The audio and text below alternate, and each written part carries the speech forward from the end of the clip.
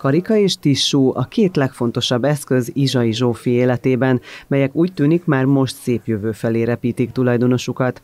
A fehérvári lány már az óvodában is sokat lógott a szószoros értelmében, bármibe belecsimpaszkodott, ezért kezdett a légtornával foglalkozni. Idén nyáron pedig már a szegedi szabadtéri játékok közönsége a Domtéri nagy színpadon csodálhatta meg tehetségét. A matek tanárnő azt mondta neki egyszer, hogy ott iratja meg vele a dolgozatot fent magasban, mert hogy biztosan kitűnő kitűnő teljesítene akkor.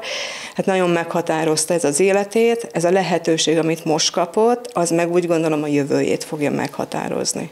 Tehát nagyon-nagyon szerette ezt a darabot, a szereplőkkel mindenestől együtt. Tehát nagyon-nagyon, tehát szinte sírva jött haza Szegedről, hogy ő vissza akar menni. A lány jelenleg a Magyar Légtornász Egyesületnél tanul egy artista művész magánóráira jár Budapestre, a szereplés lehetősége innen adódott.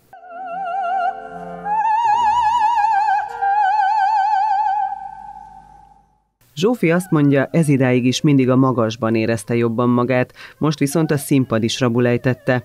Ez a kettő együtt az ő igazi otthona. Mindenki nagyon kedves volt, mindig, amikor felmentem az anyagra, mindig néztek, ugye, hogy mit csinálok, mert nem értették mi ez.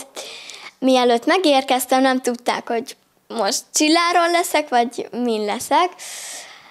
Nagyon jó volt, én nagyon élveztem, még most is vissza akarok menni. A darab főszereplőjét Kolonics Klára alakította.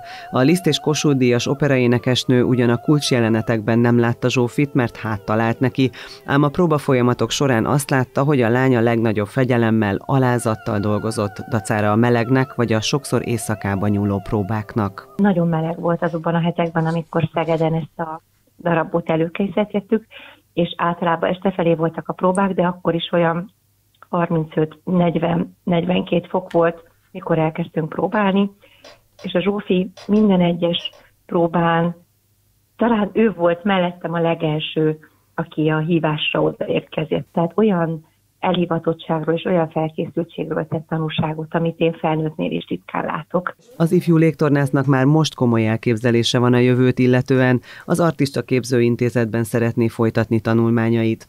Az pedig már most előre borítékolható, hogy valószínűleg nem ez volt az utolsó alkalom a vastapsra, inkább csak a kezdet.